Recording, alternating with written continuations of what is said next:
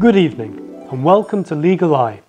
I'm Max Hope and we're here in Bucharest, joined by George Babalu, the leading. Whoa, whoa, whoa. My name is Georgi Babalan. And let me tell you what a great pleasure it is to have such a wonderful English reporter here to showcase the great Romanian justice system and uh, my own small contribution to this matter. Well, that's not exactly why I'm here, but I am correct in saying you were heavily involved in the Bivolaru case. Yes, I think it's fair to say I was one of the leaders of justice, ensuring the majestic Romanian laws were upheld. So, to begin, what do you class as a criminal? Yoga teachers? Not just yoga teachers. We hunt the people who preach their liberated views to others. People are exposed to these non-conformist ideas and they get independent, start to question their life. And you know what happens next. So, who are the victims of Mr. Bivolaru's supposed crimes? Thousands of people living happier and healthier lives from his teachings? My friend, they think they are happier and healthier, but who are they to decide that? Would that mean that I am an unhappy person? Look at me. We only helped the poor young innocent girl who was taken advantage of by Mr. Bivolaru when her life was just about to begin. You mean the girl that refutes any claim that Mr. Bivolaru did anything untoward to her and actually never laid a finger on? That girl? Yes, that one. But she doesn't know what happened to her. She is too young to realize. But luckily, our strong helping hand was there. Yet she was old enough to realize that you tortured her for hours on end, subjected her to subhuman treatment, abused her physically and mentally, and tried to force her to sign statements against her will. How can you justify that type of treatment to a victim you claim to protect? My friend, you get carried away with your sopranos and godfather scenarios. We merely had a short chat with the girl. So you consider 14 hours a short chat?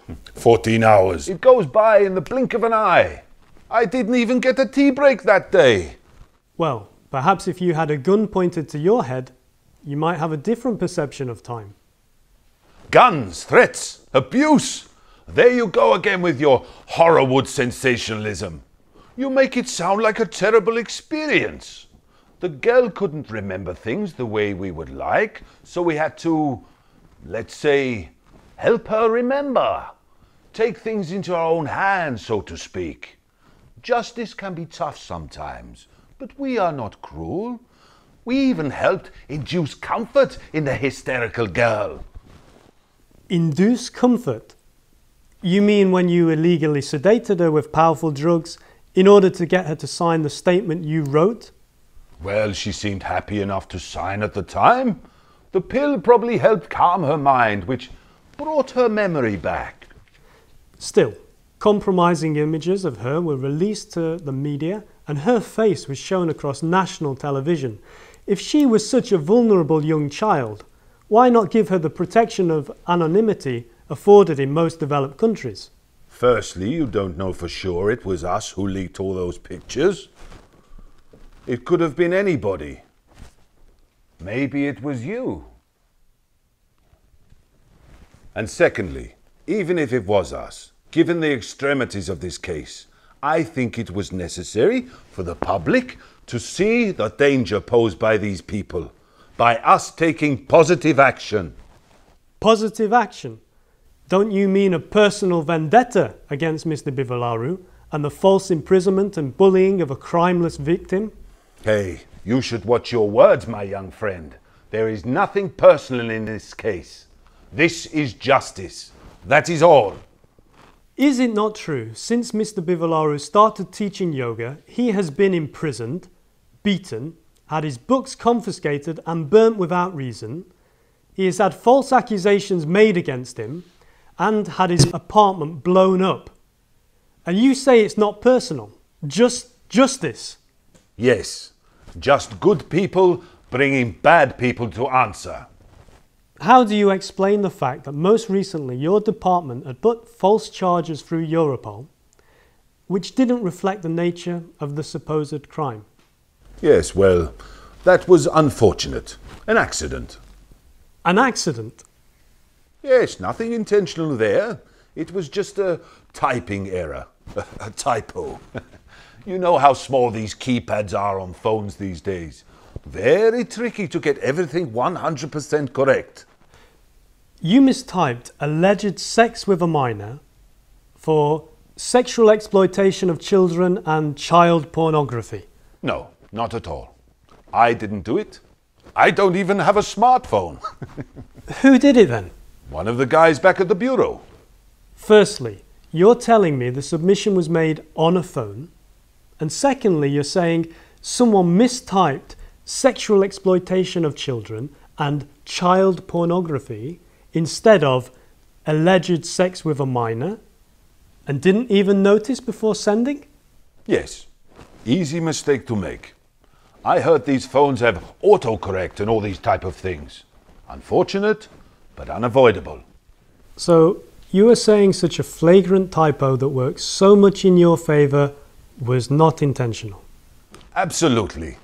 There was categorically no intention behind the typo. At least not up to the point of the meeting. What meeting? The, uh, the meeting we had about trying to get an arrest warrant for Mr. Bivolaru. So you had a meeting about trying to get an arrest warrant for Mr. Bivolaru, and a few days later, the typo miraculously appeared, giving you the exact leverage that you needed in order to get your warrant. And you're saying there was no intention behind that typo? Yes, just a funny coincidence. well, some might say a huge coincidence. I clearly said there was no intention behind it. It worked in our favor, yes, but it was all just coincidence. Unfortunate for Mr. Bivolaru, fortunate for us. But you said it was suggested that it would be useful if you had a stronger case. Yes, I might suggest that I like omelettes, but that doesn't mean I try to lay my own eggs, does it? So you still maintain, after you had this meeting, to get an arrest warrant issued and a few days later this typo appeared, that it's still just a massive coincidence. Exactly. Finally, you started to listen. Do you really think the European public will swallow that? The public. They swallow everything we feed them. If they don't like it, maybe they should send us bigger phones. It might stop it from happening in future. But then again, I can't guarantee that. Typos aside, what about the fact that Sweden has already offered asylum to Mr. Bivolaru under the Geneva Convention, saying that Mr. Bivolaru wouldn't get a fair trial in Romania? Well, Sweden, Geneva, what do they know about how things are done in Romania? Let me tell you something. Listen up, you might actually learn. In Romania, we have the best justice system in the world. Here, the courts, the police, and the media all work together for justice, not like your British freedom of speech. Nonsense that sounds very grandiose, but does nothing. Laws need to be capable of being, well, massaged a little by the clever few that know what's best for the rest of the people. Sweden, Geneva, EU, with all their rules and regulations, doesn't leave room for massage. They leave justice up to the people. What do the people know about justice? yes, it means sometimes we have to take matters into our own hands. But if that's what's needed, that's what we have to do.